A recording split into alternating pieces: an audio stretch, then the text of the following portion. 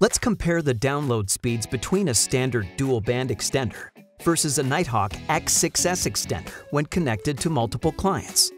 With just two clients, the combined Wi-Fi speeds of the Nighthawk X6S is 85% better than the dual band extender. But how many homes today have only two connected devices? As more devices get added, the combined Wi-Fi speeds of the dual band extender is reduced because the devices compete for the same Wi-Fi bandwidth that is shared between the router and extender. The X6S extender, with patented FastLane 3 technology, continues to deliver more than two times the performance of the dual band range extender.